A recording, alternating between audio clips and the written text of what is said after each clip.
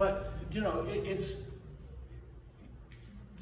I love these works because of the because of the uh, because of the ideas in them, but also because of the execution. You know, if these things were not very, if they were badly painted, badly executed, it would be like, well, it's, it's funny, but it's, you know, it's not very good. Um, or if they were beautifully painted and they, did, they weren't as clever. You've got to have the two. You've got to have the two.